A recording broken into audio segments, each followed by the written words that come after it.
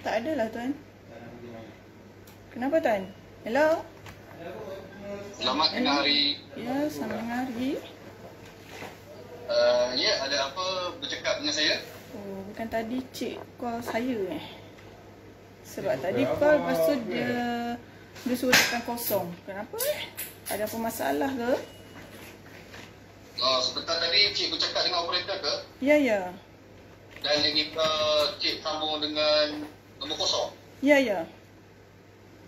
Ada apa ya cik? Ha? Ada apa ya? Sebentar, sebentar. Ya, baik.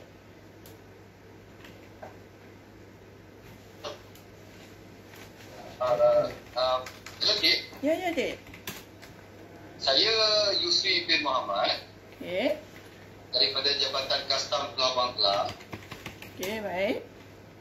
Uh, boleh saya tahu dengan siapa saya bercakap sekarang? Hmm, Suraya. Suraya ke? Ya, ya cik.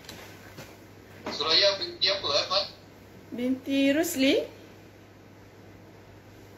Okey, Pu- uh, Puan Suraya binti Rosli ya. Ya, ya.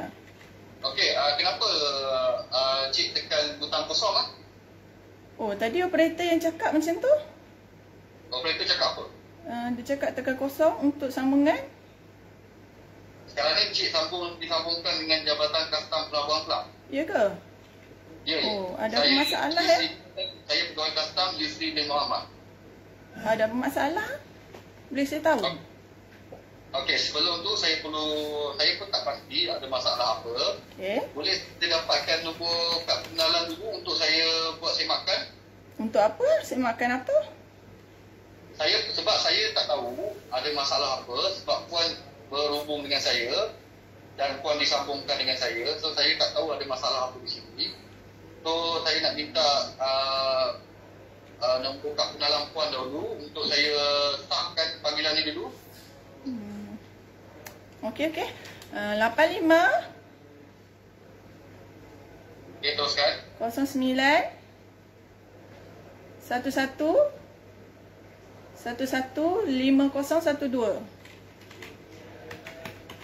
uh, sebentar saya saya buat saya makan dahulu Baik, baik.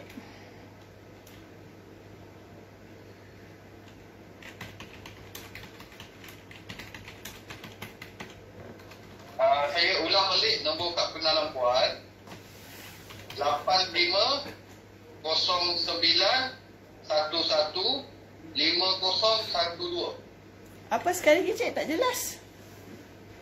85 09 11 5012 Ya, Dek. Betul ke? Ya, Dek. Okey, sebentar. Saya saya makan.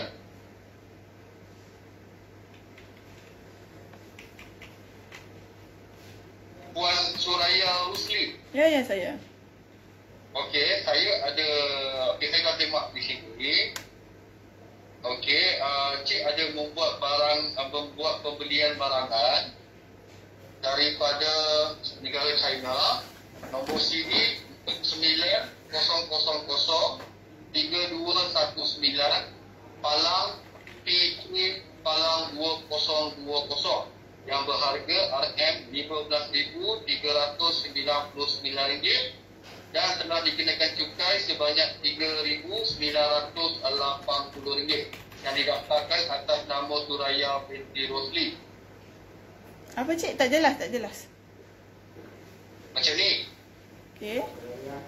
untuk kapten yang Cik nyatakan, Cik ada membuat pembelian barangan dari luar negara, okey kan? Dan nombor barangan itu yang dicatat di dalam sistem kami adalah 49 000 3219 Palang PA Palang 2020 yang berharga RM15,399 dan barangan ini telah dikenakan cukai sebanyak RM3,980 Barangan ini telah didaftarkan di atas nama Puan Suraya binti Muslim daripada soal ada dengar jelas ke?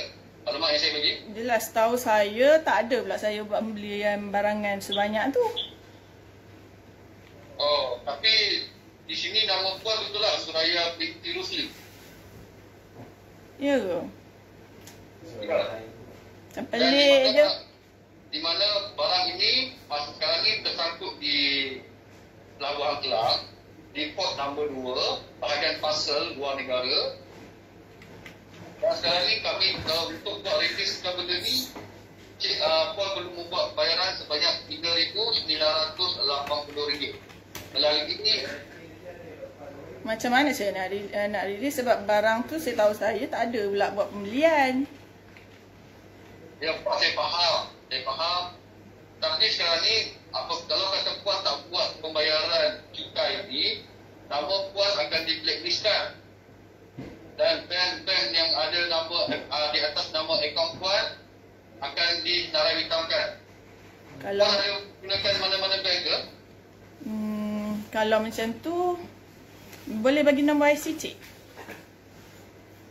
Nombor IC saya, Ya ya. Untuk apa pula saya nak bagi nombor IC saya? Hmm. Saya sekarang ni saya yang sedang menyiasat puan, bukannya puan yang menyiasat saya. Saya pun nak menyiasat cik juga sebab setahu saya saya tak ada buat pembelian barangan sebanyak tu dari luar negara pula tu. Tapi betul ke nama Puan Suraya binti Rosli? Yelah betul lah. Nombor kad kenalan 850911115012. Kalau kata, saya kata tak betul, dalam sistem puan ni, nama puan ni. ya ke? Ya. Macam tak logik sebab setahu saya memang tak ada pun saya buat pembelian banyak tu. Ni puan hanya perlu buat pembayaran cukai untuk pelepasan barang ni sebanyak 3,980 saja puan. Saya takkan buat pembayaran cik. Ya, saya tak dengar puan. Saya takkan buat pembayaran cik. Cik bagi nombor IC cik. Bagi saya semak dulu data cik. Sekarang ni nombor IC saya tak penting. Yang penting sekarang ni adalah nombor parcel puan 49000 3219 PJ 2020 yang bernilai cukainya RM3,980 puan. Ya saya tahu tapi saya saya memang tak buat pembelian daripada luar negara. Kiranya puan gagal menjelaskan nama puan akan di blacklistkan melalui semua akaun-akaun bank yang ada atas nama puan. Kenapa macam tu? Sebab puan boleh dikatakan ingkar uh, lari lari daripada bayar cukai dan puan boleh dikenakan tindakan oleh Jabatan Lembaga Hasil Dalam Negeri SDN. Habis saya memang tak beli. Nak nak cakap macam mana? Tapi ni betul ke nama puan ni dan IC puan tu? Ya nama betul tapi nombor IC tu salah. Tapi dalam sistem ni betul ni puan. Oh maknanya salah lah tu. Dia daftarkan atas IC orang lain. Nama je yang sama. Tak tak? Tapi kenapa nombor telefon puan yang didaftarkan? Oh yang tu saya tak tahulah. Betul ke nombor telefon puan 013-419-1992? Apa dia dek? Betul ke nombor telefon puan 013-419-1992? Ya betul. Ha, nombor ni pun didaftarkan di atas nama puan juga dalam sistem ni. Hmm, kalau macam tu saya nak cakap memang saya tak apa tak buat pembelian tu je saya nak tetap macam tu. Tipu je tu. Eh, bila tak pula? Alah nak tipu orang. Hmm, bila dah tanya macam tu baru gelabah.